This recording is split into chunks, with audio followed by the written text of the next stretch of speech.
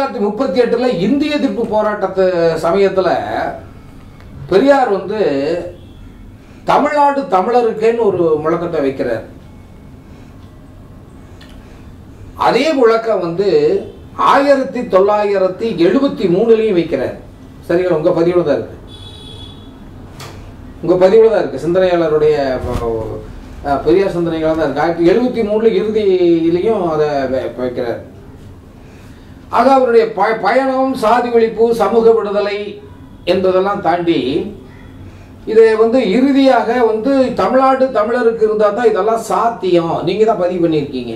அவர் பேசுறதாக உங்கள் உங்களுடைய பதிவு இருந்தார் ஏனென்றால் இந்தியாவில் இருந்தால் இப்படி ஒரு சட்டத்தை வந்து சாதி ஒழிப்பு சட்டத்தை எல்லாம் ஏற்ற மாட்டான். அதனால் சட்டம் ஏற்றி சாதி ஒழிக்கும் சமுதாய விடுதலைக்கும் நமக்கு ஒரு தன்னாடு வேணும் அப்படின்னு வந்து ஒரு பேசியிருக்கிறதாக நீங்கள் பதிஞ்சிருக்கு. இப்போ பிரச்சனை தமிழ்நாடு விடுதலை வேண்டும் என்று சொன்ன பெரியார் உங்களை போன்றவர்கள். இது இது வந்து இப்போ நீங்கள் எனக்கு அந்த கருத்துல முரண்பட்டாலும் கூட நீங்கள் கொஞ்சம் ஏன்னா பதிவுகளுக்காக நான் கே- கேள்வி கேட்குறேன். தப்பாக நினச்சிக்காதீங்க. நீங்கள் இந்த விடுதலை தமிழ் தமிழ்நாடு விடுதலை இயக்கமாக இல்லாமல் வந்து எப்படி நீங்கள் வந்து உங்களுடைய முழக்கம் வந்து ஒரு தன்னாட்சி அல்லது மாநில சுயாட்சி அளவுக்கு எப்படி என்ன காரணத்தினால அதை வந்து நீங்கள். இதய பெரியார்கிட்ட. அறுபத்தி ரெண்டுல. நான் கேட்டேன். அதை எடுங்க அந்த புத்தகத்தை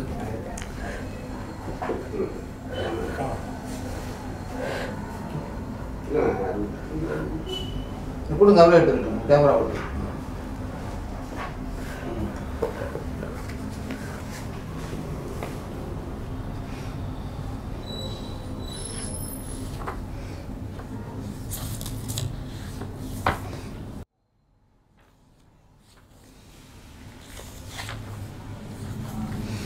அதாவது.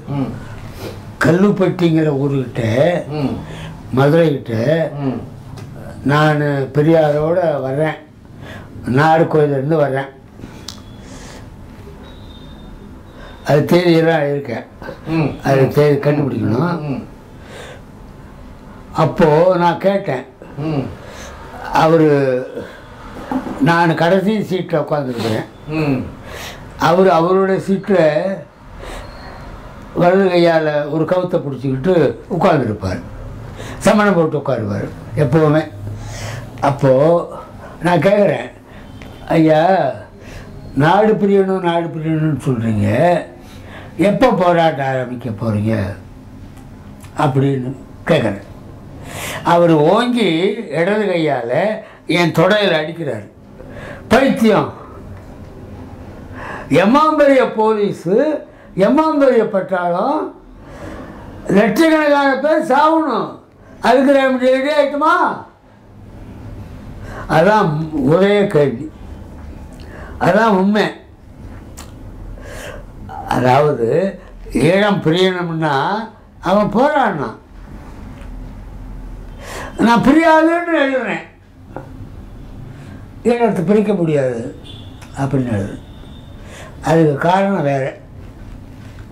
அங்கே இருக்கிற சூழல்.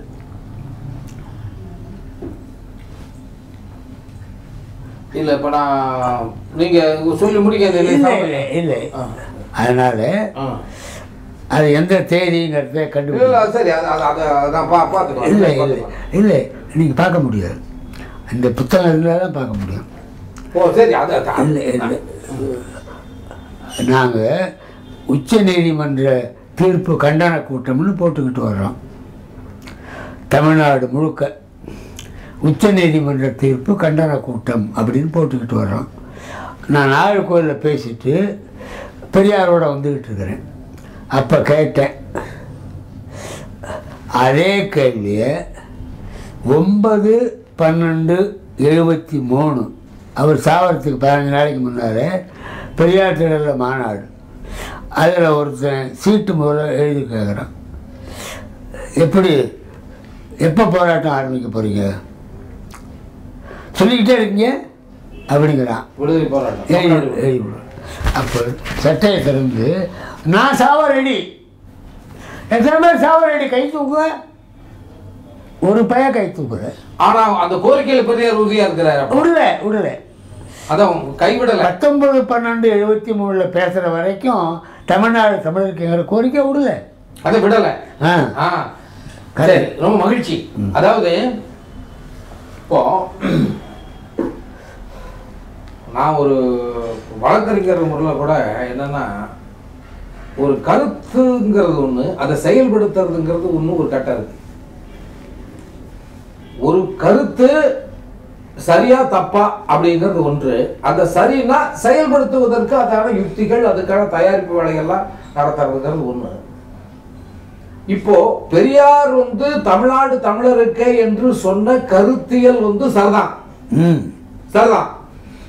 சரி. அதுக்கு மக்கள் ஆயத்தமாக சரி சரி. அது அது சரி. அது தயாரிப்பு வேலை. அது நீங்க என்ன ஏன்னா வந்து இப்போ கிட்டத்தட்ட ஒரு அடிமை சமூகமாக வந்து நீண்ட காலமா இருந்திருக்கிறோம். உளவியல் தயாராகணும். அதுக்கான தயாரிப்புகள் வேணும். ஆனா தமிழ்நாடு விடுதலை பெற வேண்டும் தடித்து விடுதலை பெற வேண்டும் என்ற பெரியார் கருத்தியல் வந்து சரின்னு சொன்னா ஏத்துக்கிட்டா தயாரிப்பு வேலை பண்ணலங்கிறது அவர் சொன்ன கருத்து நியாயம் பெரிய ராணுவம் அஹ் பெரிய கருத்தியல் வேணும் தயாரிப்பு வேணும் இளைஞர்கள் வேணும் தியாகம் பண்ணுறதுக்கு வேணும். அதெல்லாம் அவர் சொல்றாரு நிறைய சொல்றாரு. நீங்கள் வந்து நிறைய பதிவு பண்ணியிருக்கீங்க. இப்போ நான் வந்து கேட்குற கேள்வி பெரியார் வந்து இவ்வளவு பெரிய ராணுவம் இருந்தாலும் இவ்வளவு மத்திய அரசு வந்து கருத்தியல் இருந்து பின்வாங்கல. நான் கருத்தியலை தான் கேட்குறேன். ஆனா நீங்க வந்து தன்னாட்சியில் ஏன் வந்து உங்க வந்து உங்களை சுருக்கிட்டீங்க? உங்க கருத்தியலா? பெரியாராலே சாதிக்க முடியும் நான் செய்ய முடியலங்கிறதல்ல. ஐயா நான் கேட்குற கேள்வி தயவு. செஞ்சு இது தயவு செஞ்சு நாங்க வந்து எங்க கட்சியில- சமூகத்துக்கு இல்ல இல்ல. நான் வந்து நான் வந்து நீங்க செய்யி நீங்க ஏன் செய்யலைங்கிற கேள்விக்கு தயவு செஞ்சு பெரியார்கிட்டயே அந்த கேள்வி வைக்கல. உங்ககிட்டயே அந்த கேள்வி வைக்கல. உங்ககிட்டயே அந்த கேள்வி வைக்கல அது ஏன்னா அது தெரியும் அது வந்து நிறைய தமிழ்நாட்டு விடுதலைகள் வந்து எத்தனை பேர் முயற்சி பண்ணாங்க எத்தனை பேர் வந்து அஹ், முடியாம போனாங்க அதே மாதிரி ஈழத்தில் அதெல்லாம் வந்து வரலாற்றை பார்த்துட்டு தான் இருக்கிறோம் கருத்தியலாக சரிதானே தமிழா பெரியார் சரிதான் அப்ப நீ நான் கேட்கறது நீங்க ஏன் வந்து அந்த கருத்தியல் இருந்து சுய நிர்ணய உரிமை தன்னாட்சிக்கு வந்தீங்கிறது காரணம் மட்டும்தான். ஏன்னா இந்த மத்தவங்க கேட்கறாங்க கேட்கறான் அதாவது நீங்க தயாரு பண்ணல. இந்தி. இந்தியா இந்தியாவில் ஆ, பொதுவாக ஆ. நாட்டுப்பிரிவினை என்பது நடக்காது. தயவு செஞ்சு நீங்க வந்து கருத்தியல் கருத்தியல். நடக்காதுன்னா புரியல எனக்கு. இந்த நடக்காதுன்னா அதாவது ஒரு நாடு பெரிய இப்படி கொஞ்சம் எங்க எங்க ஒரு பகுதி பிரியணும் அப்படின்னு சொன்னால் ஆ. தயாரிப்பு வேலையெல்லாம் அடுத்ததுங்கய்யா இல்லை அத- அந்த வல்லரசு இருக்க இந்திய வல்லரசு அதை எதிர்த்து போராடுறதுக்கு யாருக்கும் சக்தி இல்லை. அது அதெல்லாம் ஏத்துக்கிறேன். அதெல்லாம் அத நீங்க இப்போ வந்து முடியாதுங்க. அந்த அதெல்லாம் ஏத்துக்கலாம் இப்போ ஒரு தேசிய இனம் இந்தியாவில் இருக்கிற தேசிய இனம் விடுதலை பெற வேண்டுமா வேண்டாமா என்பதுதான் விடுதலை. விடுதலை பெற வேண்டும். அதுக்கு நாங்கள் கூட்டாட்சி கொள்கை வச்சிருக்கோம். சரி சரி சரி சரி சரி. நான் வரேன். தயவு செஞ்சு நான் வரேன் ஐயா ஃபெடரலிசம் பெரியல் அப்படின்னு ஒரு புத்தகம் இருக்கு பாருங்க. மேலே ப்ளூ ப்ளூ இதை நீங்கள் படிங்க. எடுத்துட்டு போய் படிங்க ஆ, சரி சரி. சரி இது நான் படிச்சுக்கிறேங்க. இப்போ நான் பேட்டியில வந்து நான் படிச்சுக்கிறேன். நான் படிச்சிடுறேன் மகிழ்ச்சி. இப்போ நம்ம பொதுவாக இப்போ நான் வந்து நான் இப்போ ஒரு கேள்வி கேட்கறது வந்து மக்கள் மத்தியில உலாவுகின்ற கருத்துக்களை வந்து அதான் கேள்வி கேட்கறேன். நீங்க இன்னும் நான் வேறு விதமா வந்து. உங்களை வந்து தாராளமாக கேளுங்க. கருத்தியலாக நான் சொல்றது நடைமுறையில வந்து தயாரிப்பு மா- செ- செயல்படுத்துறதுங்கிறது வேறங்க. இப்போ கருத்தியலாக மிசோராம் பஞ்சாப் பஞ்சாபு நாகாலாந்து தமிழ்நாடு இன்னும் ப- பல மா- தேசிய இனங்கள் வந்து விடுதலை வேண்டும்னு நீண்ட காலமாக வரலாற்றில் போராடிட்டு இருக்குது பெரியார் அதை வந்து அங்கீகரிக்கிறார். நீங்கள் பதிவு பண்ண ப- பதிவுகள் உங்களுக்கு என்ன நான் கேள்வி கேட்குற கேள்வியில் நீங்க வந்து தொகுத்தளித்த பெரியாருடைய சிந்தனைகள் தான் நானும் கேள்வி கேட்கிறேன். நான் ஒன்றும் வெளியில இருந்த நூல்களை கருத்துக்களை த- த- தரலை. உங்க நூல்கள் தான் எனக்கு ஆதாரமே. எங்களை போன்றவர்களுக்கு ஆதாரம். அப்ப கருத்தியல்ல நீங்க வந்து செயல்பட முடியாது என்பதனால் தான் நீங்க இந்த கருத்துக்கு மாத்திக்கிட்டீங்களான்னு கேட்கிறேன். தேசிய மக்களை? அணியப்படுத்துவதற்கு. பல தடைகள் இருக்கு. அது ஒத்துக்கிறேன். இல்லை அதனால. எது சாத்தியமோ ஒரு கூட்டாட்சி தன்னுரிமை பெற்ற கூட்டாட்சி. முழு அட்டானமி பெற்ற கூட்டாட்சி. நமக்கு ஒரு அரசியல் சட்டம் நமக்கு ஒரு தனிக்கொடி. அதே போல ஒவ்வொரு தேசிய இனத்துக்கும் ஒரு கொடி. நான் குறுக்கீட்டுக்கு மன்னிக்கணும். நீங்க ரொம்ப மூத்த மூத்தவங்க பெரியவங்க. இப்போ இந்த தன்னாட்சி பெற்ற கூட்டாட்சி என்பது உலகத்துல சோவியத் நாட்டிலேயே இல்ல. நீங்க அமெரிக்காவில் இருக்கு. நீங்க அமெரிக்க உதாரணம் என்பது வந்துங்க அது வந்து இப்ப அமெரிக்கா அப்படி இல்லை. நீங்க சரி அப்ப இப்படி நான் சுருக்கிக்கலாம். உங்க கேள்வியை வந்து நான் இப்படி ஒன்றும் வந்து ஒன்றும் வந்து நான் சுருக்கணும். இல்லைன்னா அது வந்து பெரிய வாதம். அந்த அமெரிக்கா அமெரிக்கா கூட்டம் ஐயா அமெரிக்காவில் வெற்றிகரமாக இருக்கு. சரி அப்போ வந்து இப்ப நான் இப்படி ஒரு கேள்வி வந்து வைக்கிறேன். பெரியாருடைய தமிழ்நாட்டு தமிழருக்கு நான் ஏனென்றால் இந்த சாதியை ஒழிக்க வேண்டும். அதனால் தமிழ்நாடு பிரிய வேண்டும் என்ற கருத்துக்கு உடன்பாடு இருக்கிறதா நீங்க சொல்லிட்டீங்க. சரி. சரிங்களா? சரி. ஆனா அது சாத்தியம் இல்லைங்கிறது சரி. அது அது வந்து இப்போ சாத்தியம் இல்லை. இல்லை. சரி சரி. அதை நான் ஏத்துக்கிறேன். தயாரா இல்ல? நம்மால சாத்தியம் இல்லை. இல்லையா.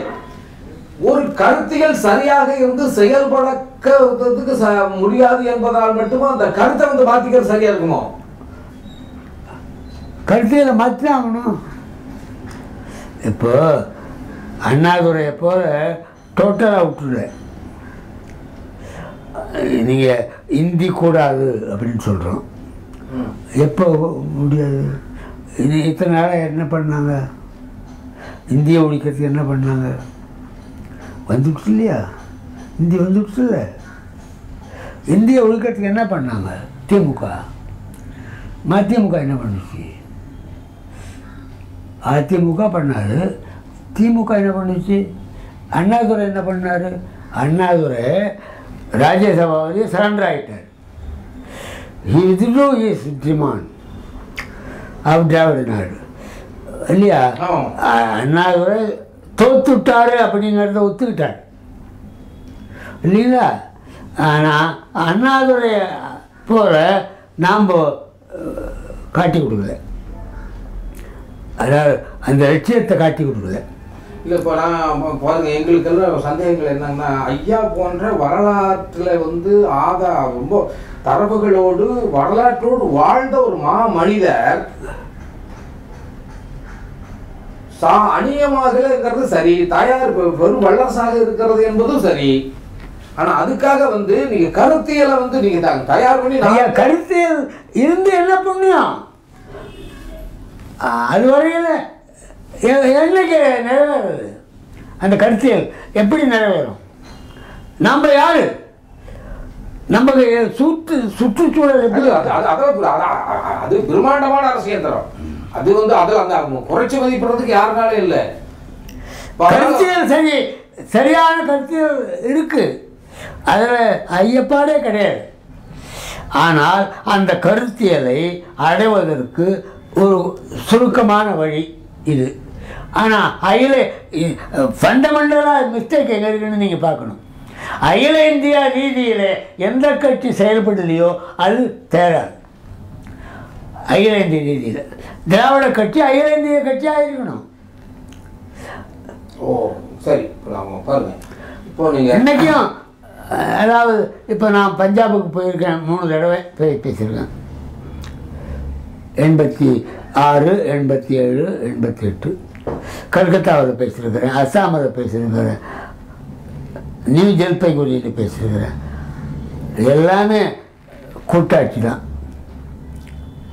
இல்ல இப்போ இப்போ- இப்போ நீங்க இப்படி சொல்றதுனால என்ன இன்னொரு இன்னொரு மன்னிக்கணும் நான் வெளியில் உலாகுன்ற க கேள்வியில் தான் கேட்குறேன் பெரியவங்க.